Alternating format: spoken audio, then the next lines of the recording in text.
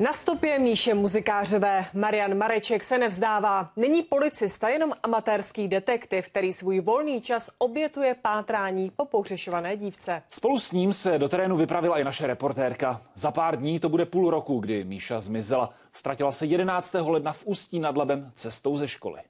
Tohle to bylo před měsícem prokopaný úplně čerstvě. Někdo tu kopal prostě. To asi takhle odsaď, tady kopal. Až sem. Ukazuje nám Marian jeden z mnoha svých objevů, na které narazil při pátrání po Míše Muzikářové. Dívku nebo alespoň nějaké stopy hledá na vlastní pěst, když není v práci. Já ji hledám jenom, když mám čas. To znamená, že jednou měsíčně vyrážím po té trase Čemíny Ústí nad Labem.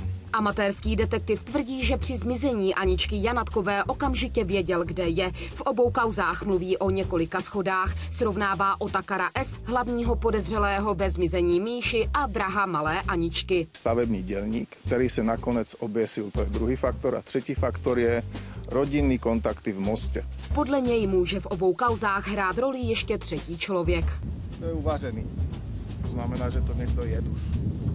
Bylo i nějaký party. Ukazuje nám další věc, na kterou dnes naráží. Marian si fotí prakticky všechno, co objeví. Fotky dává na internet. Tady vyfotil kost. Tvrdí, že je lidská. Tady zase dětskou hračku a zjišťoval, jestli nepatřila Míše. A občas fotí i děti, které mu Míšu připomínají. Takhle ze zadu těžko říct, ale myslím, že tahle bude starší. To není Míša.